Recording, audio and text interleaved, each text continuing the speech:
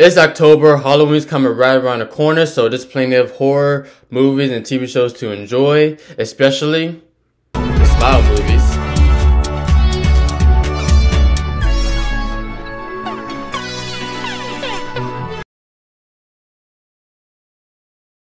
What's up with y'all? My name is Master Mike, and this past weekend I checked out Smile 2, and I'll be doing my thoughts in my first ever review. Smile 2 follows a new protagonist named Sky Riley, played by uh, Naomi Scott. I, am sorry, I can't pronounce her first name. I'm sorry, but um, but yeah, she's she's a famous pop star who, as she's you know about to uh, go on a world tour, begins experience uh, experiencing all these uh, disturbing and terrifying events that you know ultimately forces her to uh, face her dark past in an attempt to regain control of her uh, life. Before you know, before checking out Smile 2, I recently checked out the first Smile movie. It's currently available on Paramount Plus. While I've heard of the movie and seen all those creepy ass posters, uh, I didn't you know bother quite bother checking out the movie, which is actually surprising because I was planning to. A few of my friends shared with me their excitement for Smile 2 and expressed how good as hell the first movie was. So after checking out the first uh, Smile movie, I honestly couldn't agree more. Uh, Smile 2 was the first horror movie I've seen in theaters since Five Nights at Freddy's, and I must say, it was definitely worth the experience. From the beginning towards the end of the movie, there were moments that were so disturbing and terrifying that I jump scared or turned my face away from the screen like oh shit.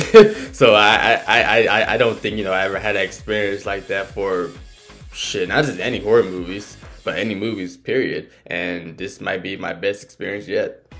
What I really love about Smile 2 is how Parker Finn, the creator of the uh, Smile franchise, prefers keeping the first film's uh, plot for the second film and giving it, you know, you know, fresh twist with, you know, more uh, disturbing moments, more uh, terrifying scares that I think will for sure engage the audiences from the beginning towards the end of the movie.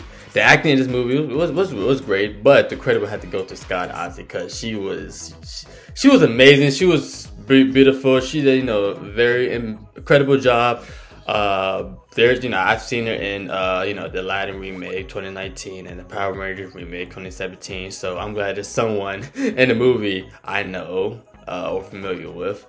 I like the idea of Smile uh, franchise being, um, I can't pronounce the word, but it's, it's, it means, you know, how each installments um, you know, for movie franchise takes place with different characters, different sets, and all that. So, and I feel like it's very common for most horror uh, movies and TV shows like Goosebumps or American Horror Story because it makes sense. Because, mm, spoiler alert, by the end of Smile 1 and 2, the protect the main character passes on the curse to another character.